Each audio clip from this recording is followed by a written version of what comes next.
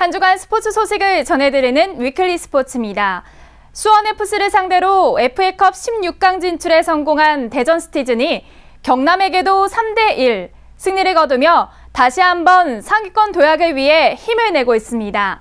이 화끈한 공격력이 돋보였던 지난 경남전 경기를 윤혁준 기자가 정리해드립니다. 경남을 홈으로 불러 승점 사냥에 나선 대전 시티즌. 경기가 시작된 지 1분도 되지 않아 경남의 파울로 좋은 자리에서 프리킥 찬스를 얻어냅니다. 키커로 나선 완델손. 마술 같은 프리킥으로 경남의 골망을 흔듭니다. 마치 프리미어 리그에서 나올 법한 프리킥. 경남을 상대로 경기 시작 1분 만에 리드를 가져갑니다. 첫 골 넣은 지 채 10분도 지나지 않은 시간. 조혜찬이 두 번째 골의 주인공이 됩니다. 패싱 플레이로 공격을 이어가던 대전 시티즌. 김동찬의 절묘한 슈팅을 상대 골키퍼가 잡지 못하고 튕겨내자 그대로 골망에 집어넣습니다. 10분 만에 경남의 골망을 두 번 흔든 대전 시티즌. 화끈한 공격력으로 초반부터 경기 균형을 무너뜨립니다.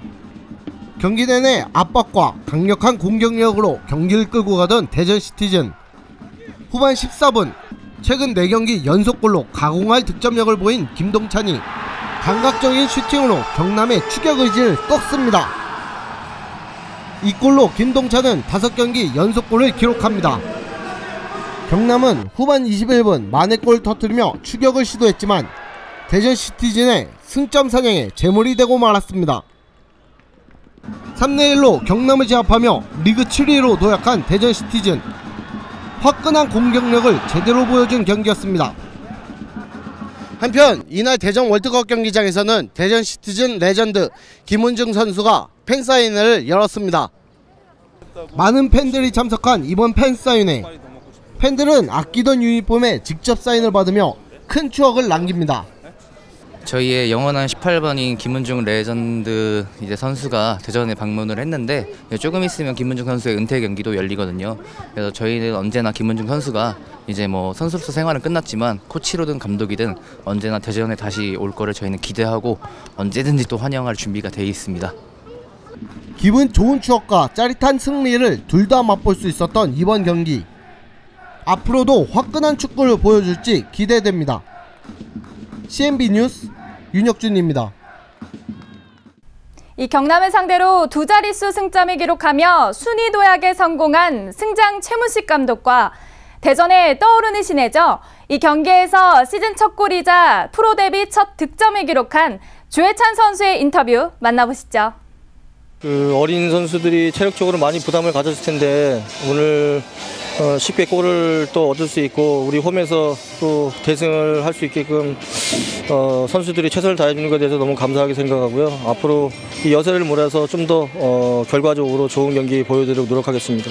짜여진 전술을 하면서 열심히 되다 보니까 찬스가 와서 예, 자신 있게 밀어 넣을 수 있었던 것 같아서 너무 좋아요. 그리고 경기가 거듭될수록 상당히 좋은 모습을 보여주고 있습니다. 이 경기를 통해서 어떤 배움을 좀 얻고 있나요? 아직 경험이 부족하다 보니까 점점 제 자신한테도 자신감을 불어넣고 자신 있게 하려고 일단 그러면서 제 플레이를 만들어 가려고 노력하고 있습니다. 특히 이날 경기는 대전 시티즌의 레전드 김은중 코치도 함께해 대전의 승리의 기운을 불어넣었는데요. 김은중 코치를 만나 오랜만에 팬들을 만난 소감과 은퇴식 이후 앞으로의 계획에 대해 들어봤습니다. 제대로 인사도 못하고 떠나 음, 떠나게 돼서 뭐 팬들께 되게 죄송하게 생각하고 일단 제가 이제 앞으로 해야 될 게 많기 때문에 준비를 빨리 해야 된다는 생각에 예, 지금 코치 생활을 하고 있고 또 열심히 또 공부하면서 배우고 있습니다.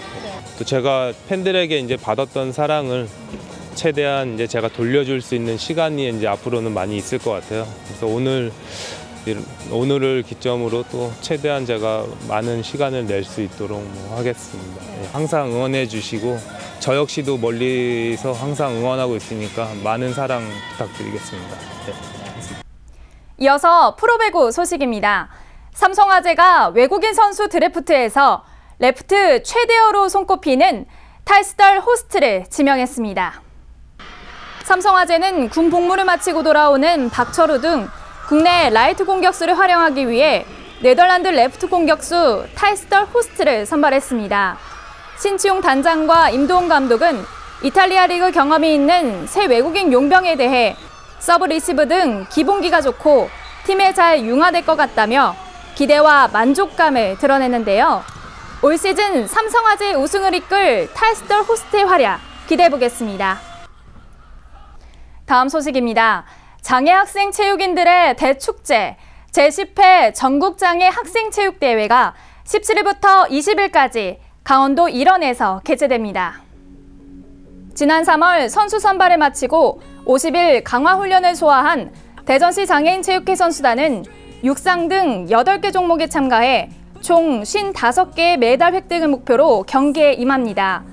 대전시 장애인 체육회 전병용 사무처장은 대전의 명예를 걸고 대회에 참가하는 장애 학생 선수들의 아름다운 도전을 위해 시민들의 전폭적인 관심과 응원을 바란다고 말했습니다.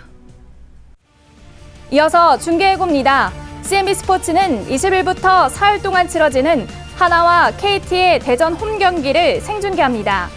20일 금요일에는 6시 20분, 주말에는 4시 50분과 1시 50분에 각각 치러지니 경기 시작 시간을 다시 한번 체크해 주시고요. 이번 주에도 저희 CNB 스포츠와 함께 즐거운 주말 보내시기 바랍니다. KGC 인상공사 리베로 김혜란 선수가 일본 도쿄에서 열리는 리올림픽 세계 예선전에 참가해 본선 티켓을 차지하기 위한 치열한 승부를 펼치고 있습니다.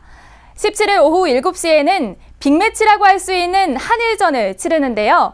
마지막까지 힘을 낼 수 있도록 더 많은 관심과 응원 부탁드립니다. 지금까지 CNB 위클리 스포츠 박현수였습니다.